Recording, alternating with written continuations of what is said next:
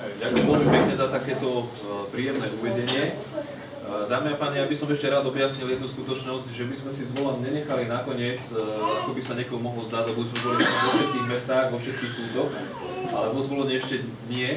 A je to z toho dôvodu, že táto Ondrejová knižka, vypadnuté z OK, aforizmy v nej sú podľa abecedy zoradené a Z je skoro na konci, takže kvôli tomu sme si to najlepšie, čiže zvole nechali nakoniec. Ďakujeme. Živý obchádzate?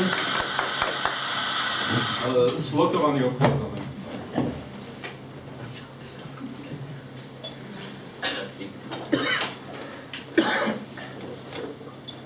Z tejto knižky si dnes budeme čítať, budeme sa o aforizmoch rozprávať, budeme ju krstiť, e, budeme vás určite zapájať aj do debaty. A Ondrej, prenechávam slovo tebe. Povedz, čo máš na srdci.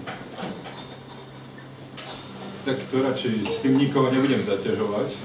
Ale uh, poviem radšej o knižke. Uh, knižka... Ondrej, tu mám maminu, hovor na hlas. Poviem o knižke. Knižka vznikla tým, že som vymyslel názov. Názov som vymyslel na mieste, kde sa skoro každému uľaví, to znamená na toalete. Priznám sa, uh, vždy sa mi páčil napríklad román Ladislava Mňačka Ako chutí moc, kde jeden z takých pekných príbehov je ako fotograf, ktorý vlastne tú knihu kvázi píše, tak e, nahovoril jednu bláznivú herečku, Čo sa ti máš na mňa? e, že aby si to nevzala osobne. E, Aby si to vzala osobne. že- veci, to nerieš osobne. že najsústredenejší výraz dostáva človek na záchode. Áno. A, Mne o tom hovor. a on ju tam odfotil a keď tie fotky vyvolal, tak zistil, že niečo na tom bude. No a ja som dostal taký výborný nápad na názov tejto knižky, že vypadnuté z oka. To je vypadnuté z oka vlastne pôvodne. A Keď to voláš oko, Tak som nakoniec ešte aj trafil.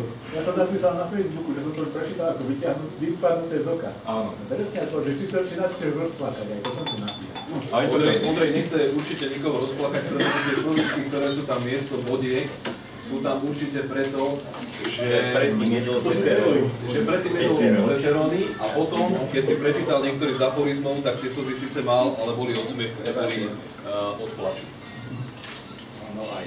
no a ďalší taký po, potom, na, čo sme, na čom sme stavali tú knižku, bolo to, že e, čakali sme na pána Heviera, ktorý teda sa ponúkol sám ako priateľ, že ju odilustruje.